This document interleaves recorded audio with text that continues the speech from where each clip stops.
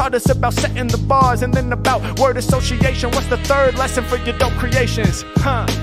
Let me think about it. I got lessons for days, so don't doubt it.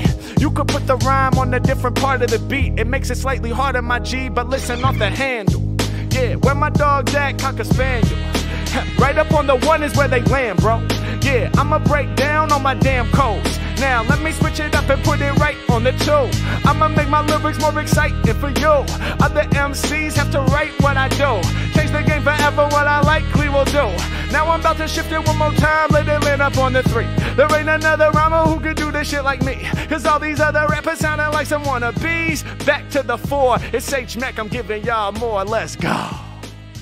Yeah, yeah, yeah, yeah. Rhythmic transposition. You know what I'm talking about? Uh, really, it, it, it comes down to rhythmic transposition and uh, your mastery of being able to shift in and out of various polyrhythmic entities, which in the jazz genre might be described less as intellectual pursuits and more actually as solistic expressions of the music that was really an expression of the deep pain that so few can relate to. And this is why an algorithmic approach to the rhythmic displacement doesn't exactly make sense.